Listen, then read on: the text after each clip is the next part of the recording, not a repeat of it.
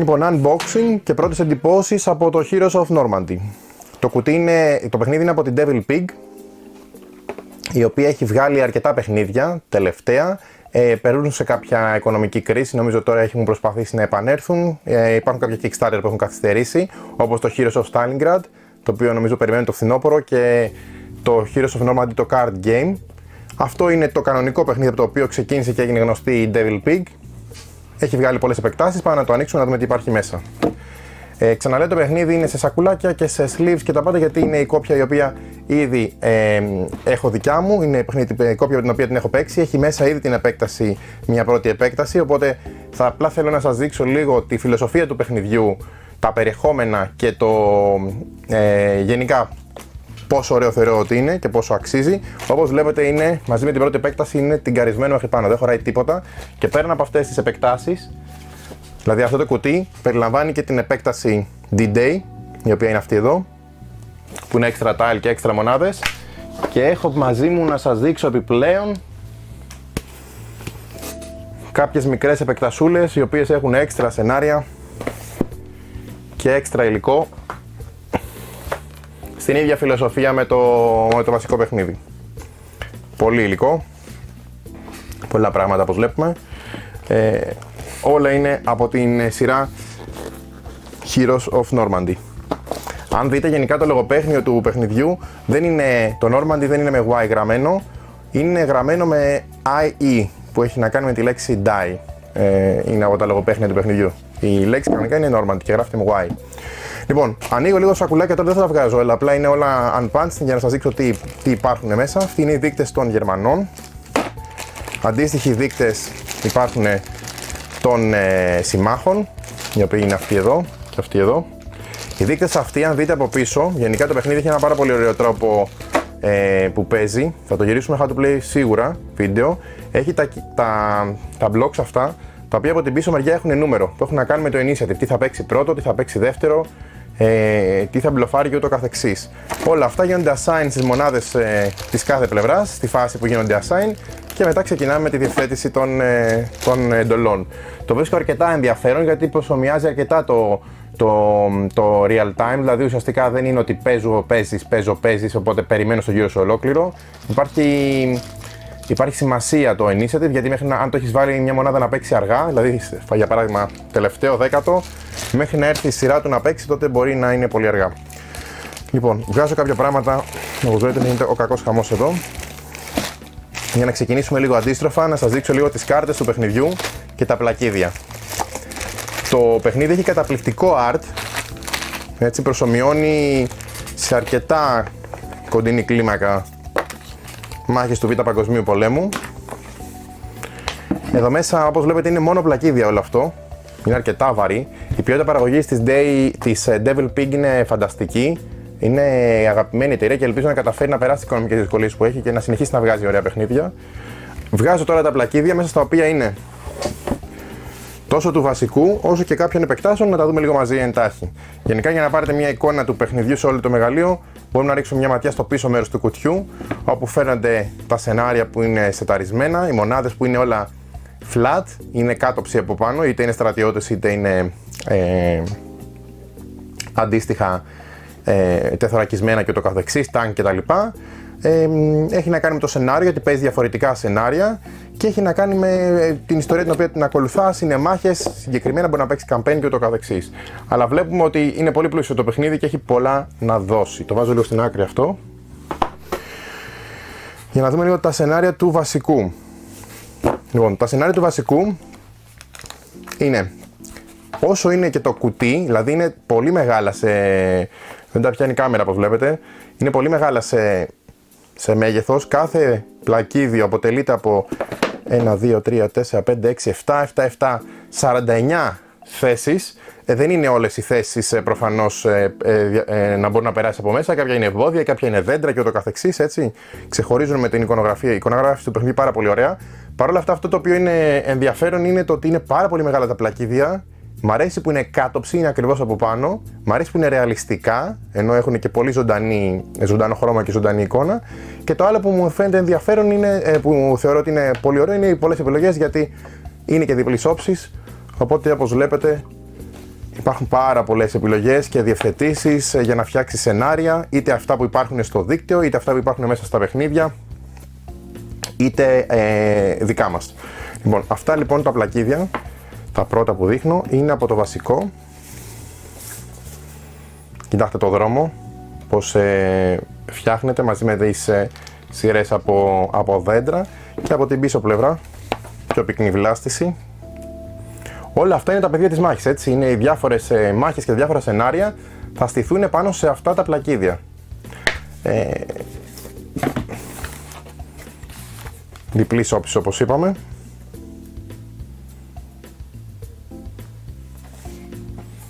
Και από εδώ πάλι ανοιχτό πεδίο μάχης.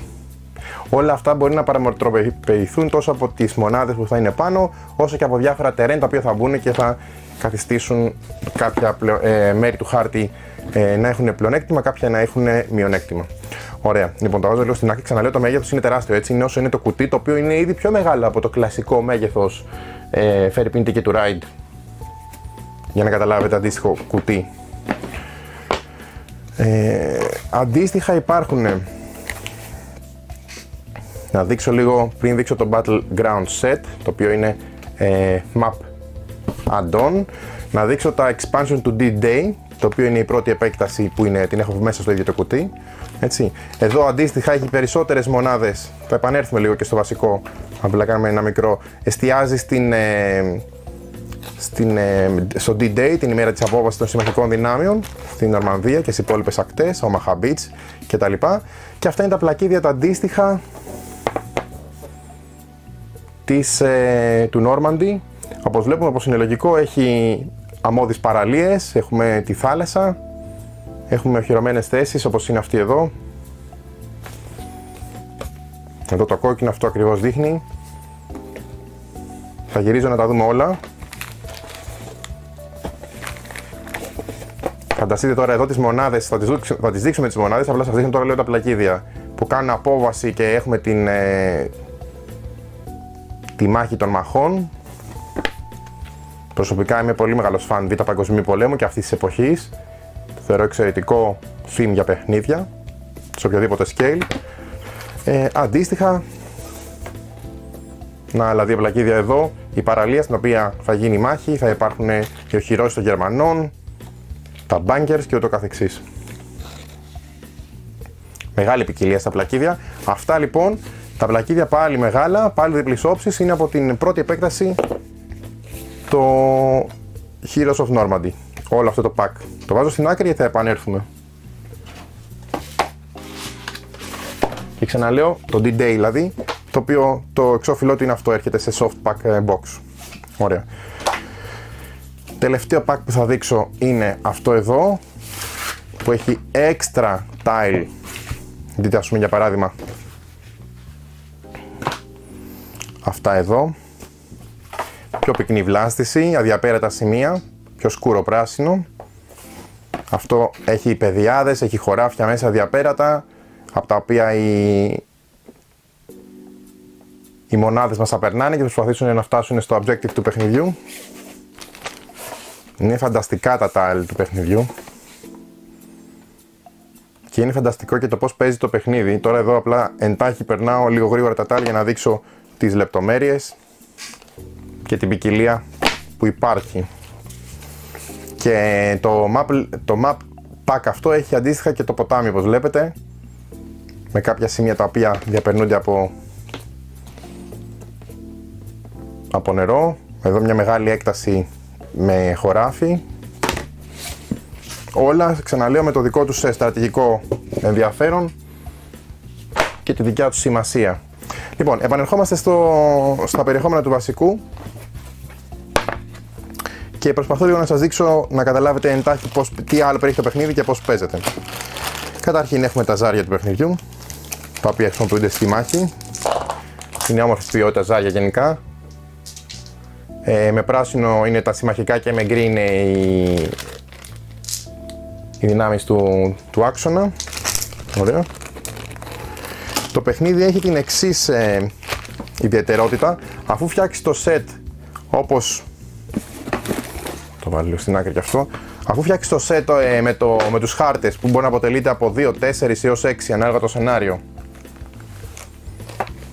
Ας φτιάξουμε ένα χάρτη εδώ για να δείξουμε λίγο τη λογική του παιχνιδιού. Από πολλούς έχει περάσει απαρατήρητο το Heroes of Normandy, κακός, πολύ κακός γιατί είναι πάρα πολύ καλό παιχνίδι. Ειδικά ξαναλέω αν είστε φαν του Β' Παγκοσμίου Πολέμου είναι, είναι πραγματικά must. Λοιπόν, ε, τώρα τα βάζω τυχαία απλά, προφανώς υπάρχουν συγκεκριμένα σενάρια που παίζετε το παιχνίδι και φτιάχνει συγκεκριμένη διαθέτηση των πλακιδίων. Απλά για να σας δείξω ε, τέσσερα μόνο από τα πλακίδια όταν είναι δίπλα-δίπλα πώς ε, φαίνονται στο χάρτη. Υπάρχουν συγκεκριμένα σημεία τα οποία μπαίνουν σαν έξτρα πλακίδια που μπορεί να είναι στρατηγικά κτίρια που πρέπει κάποιος να καταλάβει ο χειρός μπορεί να κρυφτεί κάποιος και ούτω καθεξής. Προφανώς και αυτά μπαίνουν με βάση το σενάριο, έτσι. Και υπάρχουν κάποιες περιοχές στις οποίες κάνεις deploy τις μονάδες σου. Οι μονάδες σου έχουν τη μεριά, δείτε για παράδειγμα εδώ τα τάγκ των Γερμανών.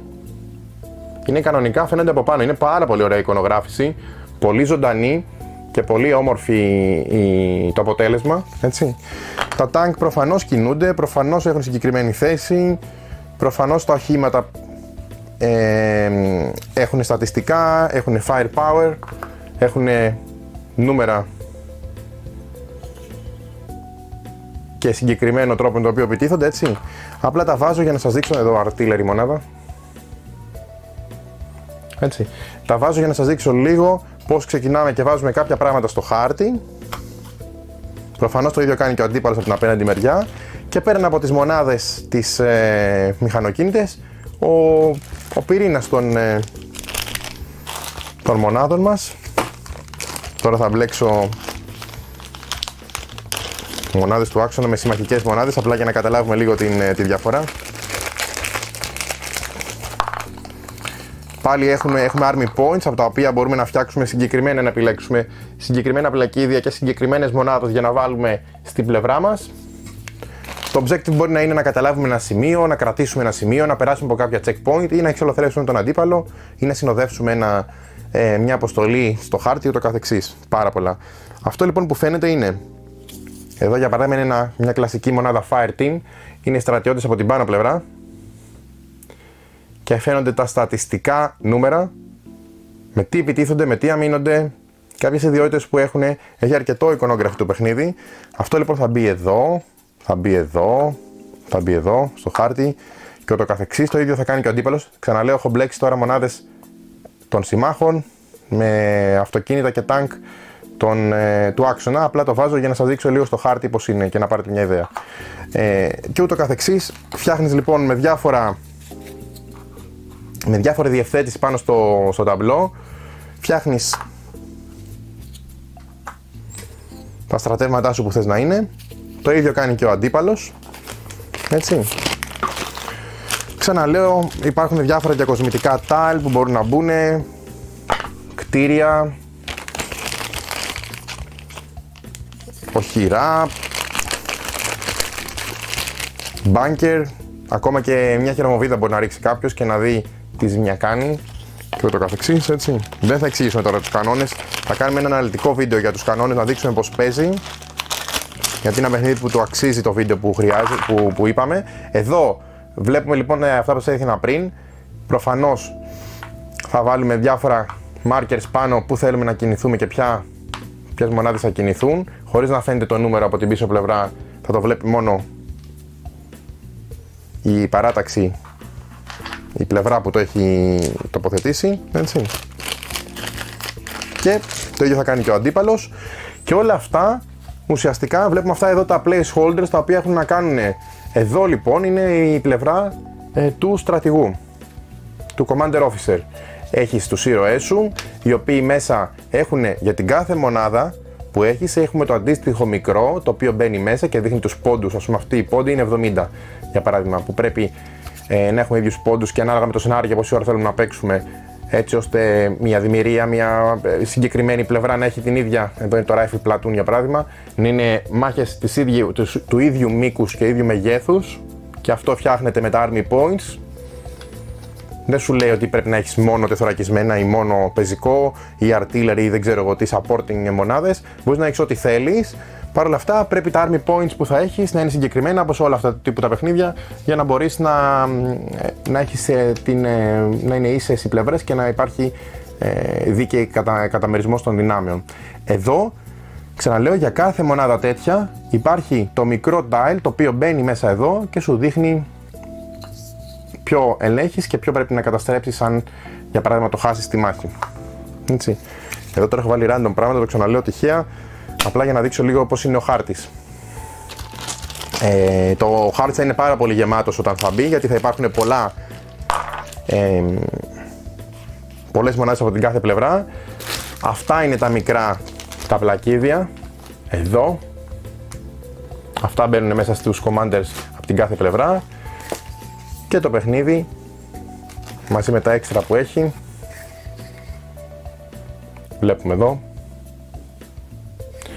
ε, είναι έτοιμο να ξεκινήσει. Δεν θα μπω σε λεπτομέρειες, δεν είναι ο σκοπός αυτού του βίντεο να μπω σε λεπτομέρειες, απλά θέλω να σας δείξω πόσα υλικά υπάρχουν. Δείτε εδώ για παράδειγμα, πέραν από τα, τις μονάδες, μπορεί να έχει σειρματοπλέγματα που μπαίνουν σε κάποιες περιοχές και να εμποδίζεται η, η διέλευση των ε, στρατιωτών ή κάποια εμπόδια για τα τάγκ ή πέραν από τις μονάδες δεν είναι όλες οι μονάδες ίδιες ανάλογα με το αν είναι μπορεί να έχεις μηχανικό, μπορεί να έχεις ε, ε, σκοπευτές, μπορεί να έχεις πολλούς, πολλούς διαφορετικές μονάδες οι οποίες έχουν διαφορετικές ιδιότητες και συντελούν με διαφορετικό τρόπο στο να καταφέρει να επιτύχει κάθε πλευρά την το objective της, το σκοπό της. Αυτό λοιπόν που θέλω να σας δείξω λίγο τελευταία είναι οι κάρτες του παιχνιδιού για να πάρετε μια ιδέα. Έχουν πολύ όμορφο art από κανονικές φωτογραφίες του Β' Παγκοσμίου Πολέμου και κάποια είναι ζωγραφισμένα, οκ. Okay. Έχει πάρα πολλές κάρτες στο παιχνίδι όπως βλέπετε. Είναι ένα κανονικό full war game κλίμακας η οποία μου αρέσει πάρα πολύ. Αυτή η κλίμακα πραγματικά μου αρέσει πάρα πολύ. Είναι στα μέτρα μου και την προτιμώ. Ε, έχει λοιπόν την, ε, την ποικιλία του, έχει την ομορφιά του, έχει πολλά ωραία συστατικά ε, έχω παίξει κάποιες παρτίδες πριν από αρκετό καιρό και θέλω να το ξαναρίξω στο τραπέζι. Γιατί θυμάμαι μου είχε αφήσει τις καλύτερες εντυπώσεις και μου είχε δώσει τόσο πολύ ωραία αίσθηση της μάχης, του να δώσεις εντολές, του να διευθύνεις τα στρατεύματά σου, να τα κατευθύνεις σε κάποια συγκεκριμένη κατεύθυνση, να, να, να παγιδεύσεις τον αντιπαλό σου, να τον ξεγελάσεις και με το initiative και, τη, και το σύστημα μάχης το οποίο είναι πάρα πολύ ωραίο, είναι καταπληκτικό, θα το εξηγήσουμε στο επόμενο βίντεο. Ε, να καταφέρεις να πάρεις αυτό που θέλεις που είναι η νίκη. Δεν έχει καθόλου μινιατούρα στο παιχνίδι, έχει μόνο tile, η ποιότητα παραγωγής είναι καταπληκτική, τα tile είναι πάρα πολύ χοντρά, όλη η πληροφορία υπάρχει πάνω, οπότε δεν χρειάζεται να πηγαίνεις σε κανόνες να βλέπεις τι στατιστικά έχει το κάθε unit. Μπορείς να δεις με τι variety ζάρια ρίχνει, τι χρειάζεσαι να το ρίξεις και ούτω καθεξής. Έτσι. Έχει κάποιου κανόνες στο παιχνίδι, δεν είναι εισαγωγικό wargame, δεν θα το πρότεινα. Ανταυτού θα πρότεινα το Memoir 44 για κάποιον που θέλει να ξεκινήσει να παίζει war game. Παρ' όλα αυτά έχει πολύ ωραία στοιχεία, σου δίνει πολύ ωραία αίσθηση της μάχης, πολύ ωραίες επιλογές, πολύ στρατηγική, φοβερό παιχνίδι, πολύ αγαπημένο. Αυτό είναι το Heroes of Normandy.